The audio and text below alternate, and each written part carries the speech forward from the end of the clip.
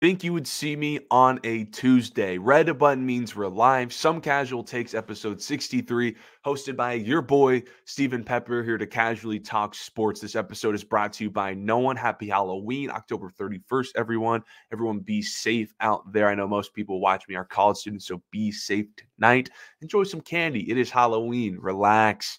Maybe give up that diet just for like two minutes of an M&M, okay? Tuesday episode, you're probably thinking, why am I here on a Tuesday? I've done Tuesday episodes before, but that's when I have to push back the Monday episode. But I gave you guys a Monday episode yesterday. So why am I here on a Tuesday? Well, I want to start doing more Tuesday episodes. I want to start including more episodes other than just the Monday and Friday when I have time. Because, like you guys know, I do this podcast although I want to produce a podcast that's listenable and a lot of people listen to my takes and enjoy and learn more about sports and have a good time listening to me and on, on a good podcast. But primarily, this podcast is a place for me to practice and get more reps and to find my voice as someone who wants to work in sports media someday. But the only way I can get more reps is by increasing the amount of episodes I do. So I want to do at least three episodes a week, two to three, and whenever I can find time. Tuesday looks like the best spot because I think my more I do have I, I, do have a lot of classes on Tuesday, but I can find some time like I did today. Uh, there's Monday night football on two. Uh, I can talk about on Tuesdays. The NBA season just started, so there's going to be games I can talk about. Plus, what perfect fitting to get the first Monday Tuesday back to back show with the James Harden trade that we are going to talk about that broke um, at night. Oh my HDMI. Sorry, my HDMI kind of started tripping. So we're going to talk about the Harden trade to the Clippers. We're also going to talk about Monday Night Football, like I just said and then the Lakers game as we always do. It would be great if Lakers games were on Mondays and we can talk about that. So thanks everyone for tuning in who's here on this emergency stream, I guess post Harden on uh, Tuesday. I did not see this James Harden trade coming to the Clippers. Well, I did, but I'll get that in a second. First of all, 3M deal on Halloween. Spooky, crazy things happen on Halloween. That's what they said. And this is what we got. I went to bed last night relatively early uh, like 1.30. I could have been went to bed way earlier, but I stayed up to watch the Lakers game. West Coast games always run late. Went to bed kind of stressed, but the Lakers won. So I went to bed. Didn't think anything was going to happen. I know the 76ers did play like the night before, but then boom, Harden trade at 2:30, an hour after I go to sleep. I wake up ready for class. You know, you rub your eyes, you go brush your teeth, you go take your morning piss. I flip on my phone to check my social media as I do every morning. I got eight notifications, three text messages from friends, Woj Twitter bombs that James Harden went to the Clippers.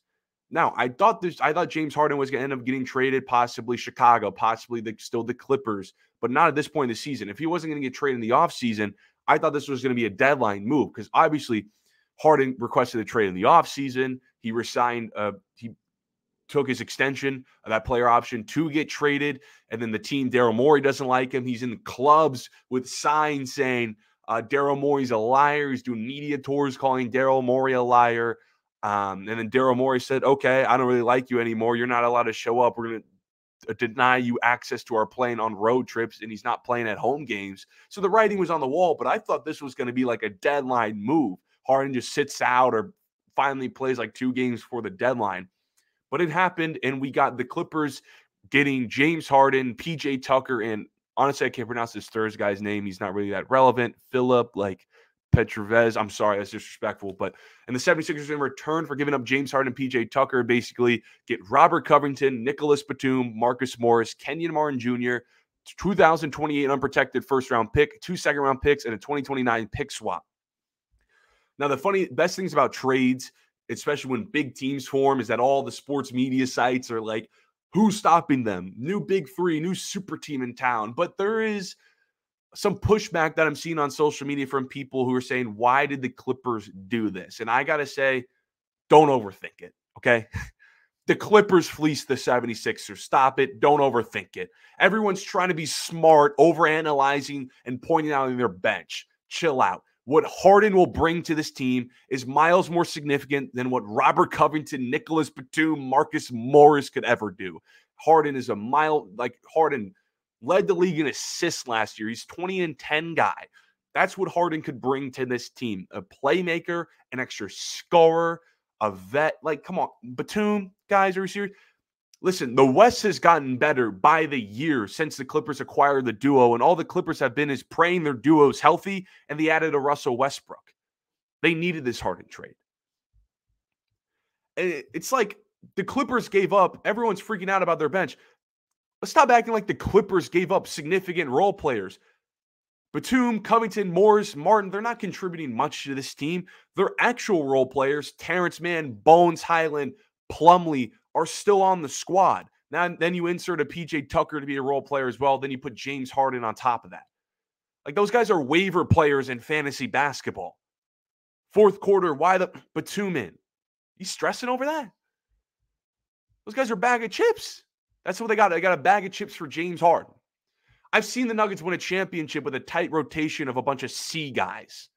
Playoff basketball is all about who's your starting five, and you got one or two guys coming off the bench. That's it. You tighten the rotation in playoff basketball. You play maybe you know maybe it's an eight man rotation. That's it. Boston Celtics, they have one or two guys off the bench. That's it. And look at them. They're like one of the best teams in basketball. Stop freaking out about depth. Same with the Suns. Once they get healthy, stop flipping out about depth. And then the draft picks too. I get the six, the 76 like the draft picks, right? Do you think Steve Ballmer is losing sleep over a few draft picks? The Clippers are already so all in. I think a few draft picks aren't going to do any damage to them. Like they're so deep in the cap and especially that Paul George trade and the Westbrooks and all, all the stuff that they've been adding, they have no draft picks left. They're going all in to win. There's no going back for them. So they had to make this trade. And what Harden also does that a lot of people aren't talking about is he adds a higher floor to this team because for back-to-back postseasons, the duo Paul George, Kawhi Leonard have been haven't played majority of those two game majority of postseason games. So James Harden, if one or both don't play in the postseason, him and Westbrook and their collection of role players can give them a better chance of winning. It just has a safety level of floor. Maybe Kawhi doesn't play for 20 games. Paul George has a knee injury. Westbrook's out for a little bit. Paul James Harden gives them much more of a floor than Batum ever would. Now I get it. The fit of Westbrook and Harden's not ideal. We've seen it multiple times. I don't really like it too, especially today. It's maybe like 2016. This could have been cool, but in, in 2023, you're talking about two guys who are clearly declining. Still good guys. Westbrook plays his heart out. Harden's a 20 and 10 guy. It's still not ideal. High turnover. Both playmakers, both trying to be that third scorer on the team. So Ty Lue's got to figure out the rotation. But I mean, you can do a lineup of we've seen Westbrook come off the bench for the Clippers at, at the beginning of his Clipper tenure. Now he starts. We've seen Westbrook come off the bench for the Lakers. I think Ty Lue can kind of get Westbrook off the bench. I would want to. I wouldn't want Harden and Westbrook playing at the same time. I would say have a James Harden point guard, uh, then Paul George at the two, Kawhi, then a PJ Tucker, Zubac. That would be my starting five. Then off the bench, I would have Russell Westbrook, Norman Powell. I forgot. Norman Powell's also a great, that's a six man of the year type candidate right there. Terance Mann, and then Plumlee for big man backup minutes. And that's it. Everyone else just doesn't play. Like, why are we stressing about this? Now, for the Sixers, when I say they got fleeced, I still think the 76ers are a really good team. I think the Sixers are a good team. Um, we've seen this season, close game against Milwaukee. Embiid playing at MVP level. Tyrese Maxey, who I regret not picking for most improved. I picked about Austin Reaves. I'm going to talk about him in a second. Maxey is coming alive, coming to his own thanks to Harden not being there. Oubre is a solid piece. He's shown himself. Tobias Harris is still there. They have some, like Morris, Batum. You know, these guys aren't bad. Kenny Martin Jr., these guys aren't bad. I'd say Philly, I didn't think they get substantially better, but they got quality role players to go behind their two guys. But all in all, the 76ers, they're okay. They're a bit better off. Still don't think this is a finals team, but they get some quality role players for a guy who's just never going to play. Kind of wish they got like a Terance Mann or at least a Norman Powell in this deal because then I'd start feeling a little bit better than Philly. But the Clippers fleece them. They get James Harden. Now, I'm not going to say the Clippers are a title team yet because I'm more of a see it, believe it type guy. I need to see how this team chemistry works and if these guys stay healthy. But the Clippers got to be feeling really good today because that was a that was a good trade for them. Sorry, my nose is the temperature's changing. It's like 40 degrees uh, here in Ohio. Let's talk Monday Night Football now. The Detroit Lions hosted it. They beat the Las Vegas Raiders 26 to 14. Now, when I say 26 to 14, it doesn't look like a commanding victory for a team in the Detroit Lions that a lot of people are so high on, including myself, and a Las Vegas Raiders team that a lot of people are very low on. Doesn't look like a commanding victory, but chill out. 20 first of all 26 to 14 is a that's a pretty good win that's a that's a pretty good win i've seen the raiders and the Ravens win by a touchdown to a Cardinals team that just benched their quarterback because of that performance. You can't blow teams out by 30 points every game when you're more talented than the other. But in reality, you watch the tape, just don't look at that ESPN notification for the score.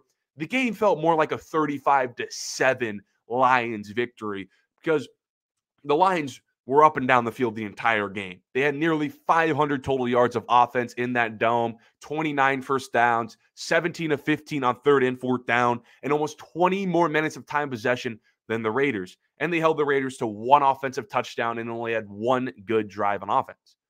The Lions, the only reason why, like, that's the only reason why it was 26 to 14. They had a pick six, they had two fumbles, one was in the red zone, and they missed a field goal. So that that clearly could have been like a 35 to 7 game if they played a bit of a neater game. The Lions right now look like one of the premier teams in the National Football League and it's it's crazy for me to say it because I'm almost 21 years old and I've never ever been in a position where the Detroit Lions have I can say the Detroit Lions are the, one of the premier teams in the National Football League. Detroit Lions are the two seed in the NFC. I don't think I've ever said that. Look, they had a couple good years with Matt Stafford. I think they made the playoffs twice in my lifetime. They had a couple good years with Matt Stafford, but those years were like one and done, getting the wild card and lose years. That's it. But they're one of the premier teams in the league. Like this Lions team's legit. Like the the Lions have been rebuilding for my entire life. But now we're seeing the Lions enter one of the premier teams in the league. I think the NFL, I think the rest of the NFL teams that are currently rebuilding should take notes. Because I think what how the Lions rebuilt is because I think the Lions, how they rebuilt is the example of how teams should rebuild. There's multiple steps that you need to do to rebuild teams. I think the Lions, they knocked out two steps in one. First of all, to rebuild, you kind of got to understand that a chapter is has closed in your franchise. You have to understand when to rebuild. So when a chapter is closed, you got to rebuild, you got to move on, ship any valuable assets you have. The Lions had Matthew Stafford, so they traded him. But they also in that Matthew Stafford trade knocked out the second step, which is get the quarterback right. Now say what you want about Jared Goff. Jared Goff is really good. He wins games, especially at home. So they got they traded Matthew Stafford for Jared Goff. They didn't have to be number 1 and draft a quarterback. Unlike Denver, remember the Broncos are trying to rebuild. They traded for Russell Wilson, so they try to get their quarterback right, but they had to give up a lot of picks in return. The Lions got picks in return with their quarterback, and those picks turn into Jahmyr Gibbs, Sam LaPorta, and Jameson Williams, who kind of cross your fingers that he's going to pop, but a lot of people still believe he's going to pop. He still has time. He's been injured and suspended, so let him have time to develop. But those are really good draft picks they turn those guys into. The third step is do your scouting homework and hit home runs in the draft. And it's clear last night that the Lions, these Lions draft picks for the last like two to three years, are really, really starting to get going. And they hit them in the key positions too. Talk about you need, I feel like offenses need one or two really great skill guys. Jahmyr Gibbs is turning into one of the best running backs in the league. And they got a home run, absolutely, and getting in the fourth round, Amon-Ra St. Brown, a top 15 wide receiver and you got to draft line of scrimmage. It's 2023. Think of it about the best teams in the NFL 49ers, um, Ravens, Eagles, line of scrimmage, offense, defensive line. The Lions have one of the best run blocking offensive lines in the sport, and their defensive line of an Aidan Hutchinson got six sacks last night. Think about Jahmyr Gibbs. Jahmyr Gibbs having 100 like 87 total, 189, sorry, yards of scrimmage, receiving and rushing with one touchdown. He looked excellent. Uh, we were waiting for Jahmyr Gibbs to pop. Remember when I talked about that first game, uh, his first game against the Chiefs? We came on, I came on here and talked about. It. I said Jahmyr Gibbs needs to get out of this snap count bull crap.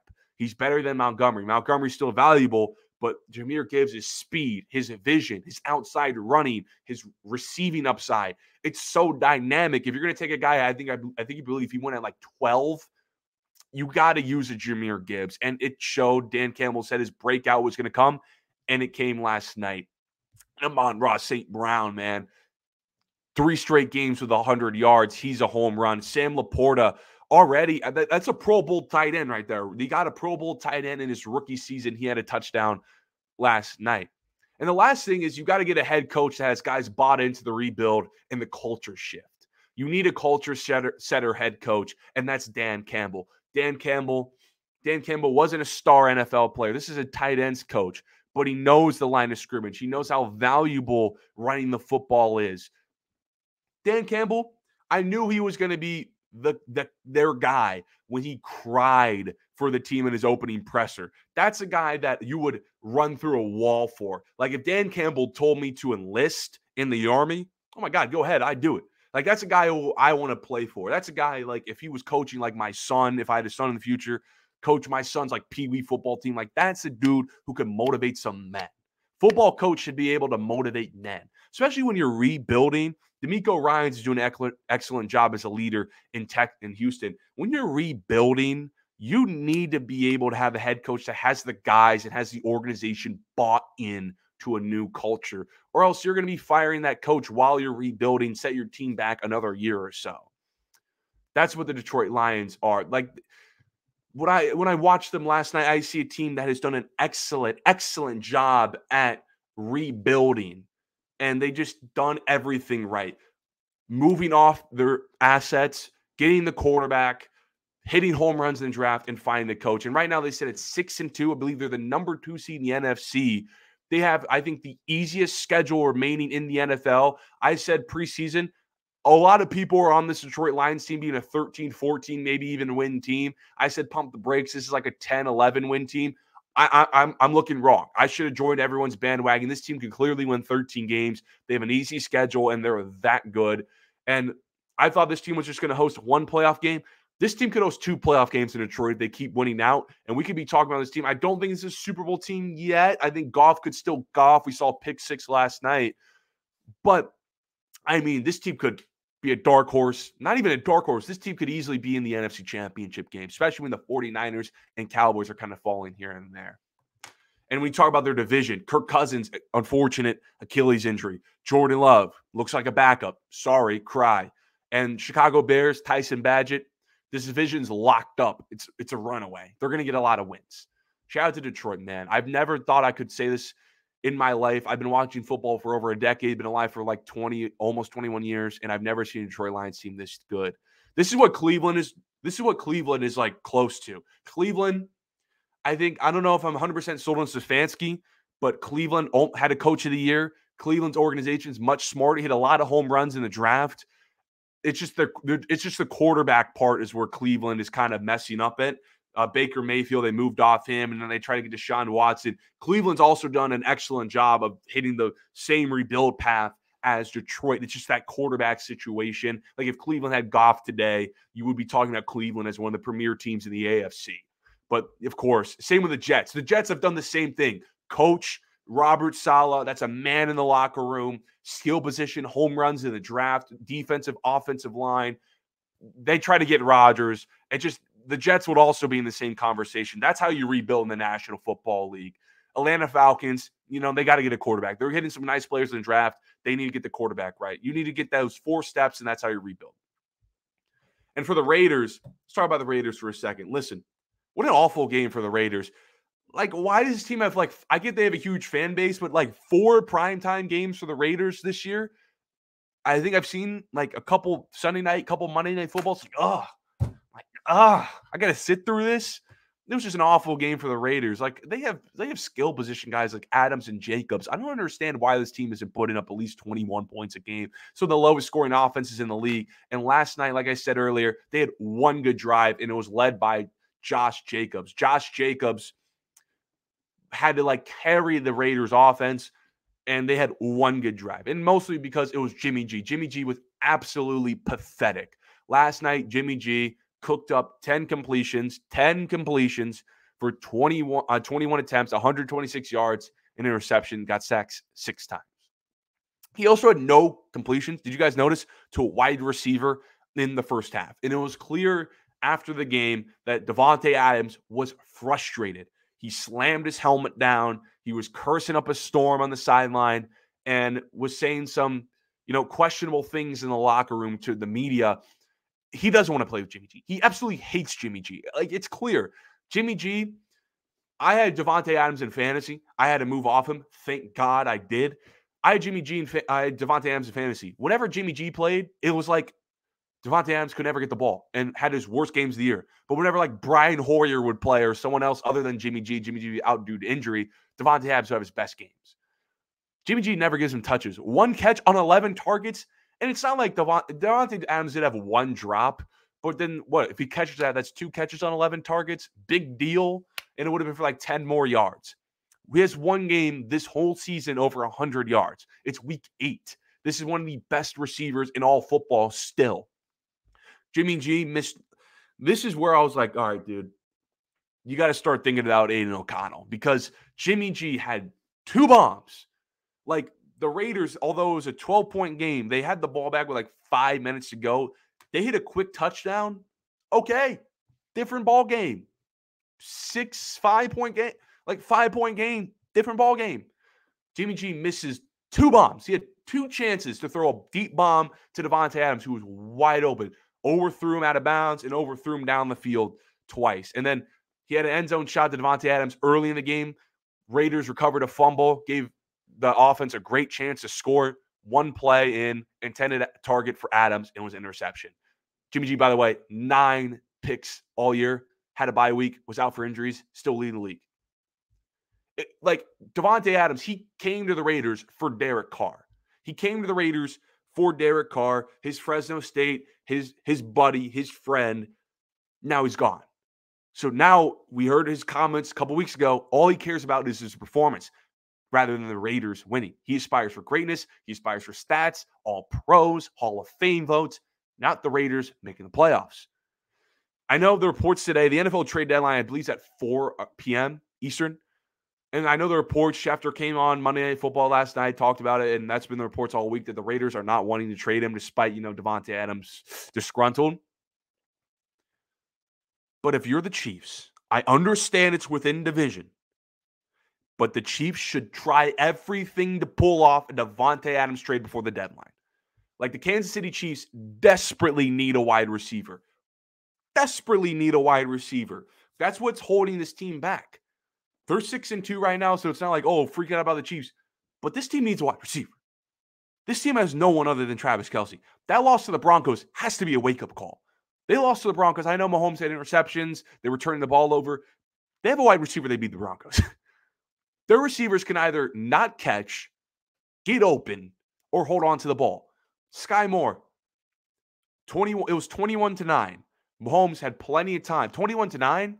I kept telling my friends who were betting on the Chiefs, I was like, dude, it's 21 to 9. I don't care. I've seen this movie way too many times before. That means Patrick Mahomes. Other than Brady, who who who has a better chance of coming back and winning a football game? Mahomes dialed up a wide open touchdown pass to Skyy Moore. He dropped it. The receivers also can't get open. Mahomes has to extend every play just to find a window for his receivers. And then he had a receiver in um, Mecole Hardman muff a punt. He had MVS, I believe, who was fumble the ball off a catch. That's who whose receivers are. The Chiefs were one and five in the red zone against the Denver Broncos. I know the Broncos defense is playing a bit better today, and but that's still the same defense that had 70 allowed on them. Okay. If the Chiefs double team, like if a team, an opponent double teams Travis Kelce, who does Mahomes have as a go to, especially on third down and in the red zone? I think teams now should start just double teaming Kelce because, okay, you're going to trust Skyy Moore in the red zone that loss of Juju Smith Schuster is looking huge. Guys, who did Patrick Mahomes throw to on that key play that iced the Super Bowl? Juju Smith Schuster in the red zone. I'm not I'm not asking, okay, I am asking for like uh Davante Adams, but even if they get like a I don't think the Broncos would want to trade in division either, but like a Jeudy, just like a B wide receiver, this team, I'd pick them to win the, win the AFC. But go in all in for Adams. I saw 49ers get CMC at the deadline and from within conference from Carolina, and look what that's working for them. He's got like 18 straight games with a touchdown. Rich got richer. Mahomes, he's not having his best season. I mean, 23.5 points per game this offense is. That's by far the lowest of Mahomes' career, his lowest yards per throw and his ratings are in the dump. Um, he forced interception yesterday to Kelce because he doesn't have receivers. I know Adams is a little bit of a diva. He cares more about his stats than wins. But you're going to get the best of both worlds if you play with Patrick Mahomes. Patrick Mahomes will get you the wins, you get you Super Bowls, and you'll have a lot of stats. Because if teams can't double team Kelce anymore, if Davante Adams is lined up outside. I get the Raiders probably won't trade uh, Davante Adams. I think Davante Adams is still on their timeline, especially if it's going to go to Kansas City. They won't do that. But if I'm Kansas City, I'm making some phone calls. I'm calling up the Raiders right now before the four o'clock deadline. I'd give up a lot. I I, I would absolutely give up a lot. I, I, I would give up a lot. I know they're strapped for cash because they got a lot of money in Kelce, Mahomes, Chris Jones, but you need a receiver. You absolutely need a receiver. I would try to figure out a way to get a Davante Adams or receiver at the deadline. But what amazing would it be if Davante Adams went to the Chiefs? Chiefs would be unstoppable. Okay, last topic today. Let's talk about my LeBron James led Los Angeles Lakers.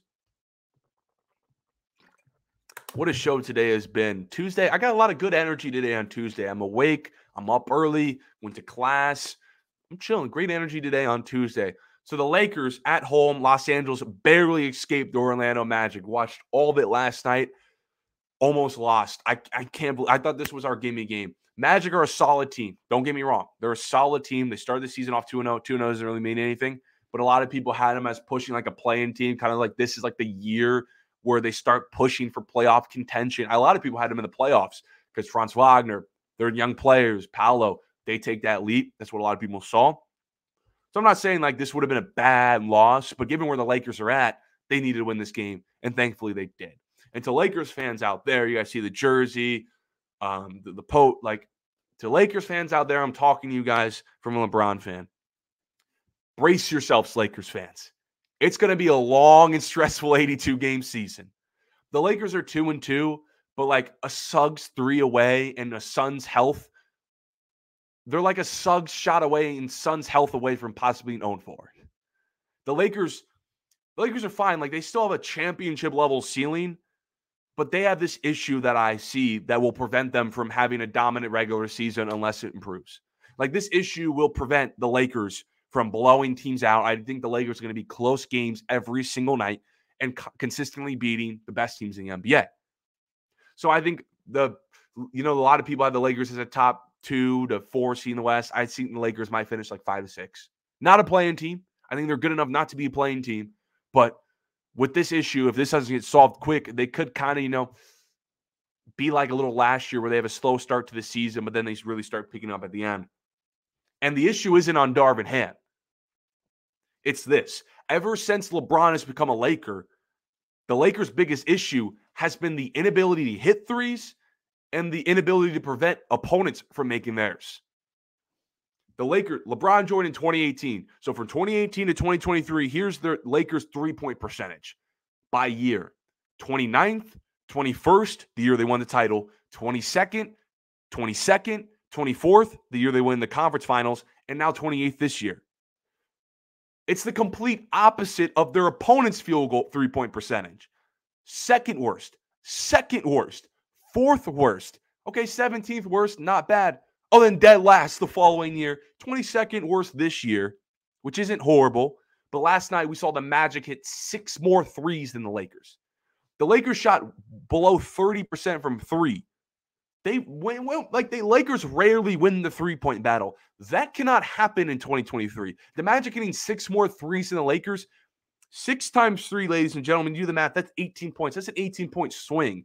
And for a long time, and for a long time, the Magic had seven, eight, nine more three pointers than the Lakers. The Lakers were well below into the 20s for a large stretch of the game. It looks a little bit better because what saved the Lakers at the end of the game was, was their ability to hit threes. LeBron hit one, D'Lo hit one, and the Magic missed a couple. That's why, but the Magic still hit 40% from three. The Lakers shot 29%. They rarely win three point battles. When they do, it's like, oh my God, you need to win three point battles. It's 2023 basketball. You need to be able to make threes and not have your opponent hit more than you. That's it. You can't be shooting less than more than 10% less from three than your opponent. Like the Lakers need to be able to shoot in LeBron's regression year. LeBron last night, LeBron's still good. He's still elite driver to the basket, elite downhill player, but the jump shot's not quite there. You can tell LeBron James is turning the ball over. He's not as fast. He's not going to jump out and score 30 a night. That that day's behind LeBron's over. So the Lakers need their supporting cast to shoot behind him when LeBron does pass the basketball and when he's off the court, like Austin Reaves. I'm still waiting on Reaves. He was my most improved pick, but he kind of needs to clock in. What was he? One for 12 against the Kings. That's absolutely unacceptable. We talked about that yesterday. And then he was five for 12, a bit better, five for 12, but that's not, that's not, you know, 50%. Last night, barely 40, 11 points, one for four from three. This dude was like a 50, 40, 90 type guy against the Denver Nuggets in the playoffs, averaging 21 points per game, hitting so many three pointers, especially clutch ones. Need Reaves to step up, especially LeBron when LeBron James is regressing like this. Um, same with a Vincent. He hit a three. Need Reddish. need need Wood, need Prince to knock down their threes. But I think the Lakers will figure it out. Remember last year, started two and ten, had like the worst three point team start in NBA history. They'll be able to smooth it out. They'll be able to shoot better throughout the season. I don't think it'll be substantially better to where they'll start winning more, more, and more and more three point contests. But I think they'll be a bit better than where they are now. I'm just like not. I was texting my buddy last night. I'm just not used to this as a LeBron James fan because you know, think about LeBron James's teammates when he was in Cleveland and they like his first hit in Cleveland. His last couple years where they were like the one or two seed, they were winning 50 to 60 games. They had some of the league's best shooting in the regular season. And Miami, Battier, Ray Allen, Mike Miller, and like six, seven threes in the finals. When I was growing, when I like my favorite teams were the Cleveland teams because I'm from Ohio. So like those Cleveland teams, J.R. Smith, Channing Frye, the, the Cleveland teams were constantly setting records in the regular season, postseason for like single game three point records. It also helps when like Kevin Love and Kyrie could shoot. Anthony Davis and LeBron can't shoot, and that that doesn't help at all. And then we got a bunch of role players who are inconsistent shooters. Shooters, mind you, they shoot like 40%, and then they come to the Lakers and then they can't can't hit crap. It's weird. I was texting my friend, it's like, dude, we used to have so much fun watching the Cavs hit like 33s a game in a postseason. Now the Lakers can barely hit 10 and they have to be in tight games with the Magic. That's just what the story of LeBron's Lakers tenure has been. The Lakers can hit threes and they can't stop their opponents from hitting threes. Somehow they won a title. Somehow they won the title. They won the title with the second highest opponent three point percentage in the league. That's insane. But I got nothing else for you guys. I got a class at 115, so I'm gonna get up out of here so I can hustle a class and get up out your way. I appreciate the people who tuned in and will be watching Tuesday's episode. Next show will be on Friday around the top of the afternoon, just in case, or if you want to follow more um, follow my social medias for clips, highlights, updates, social media, some casual takes, all platforms. Till Friday, I'll see you guys. Peace.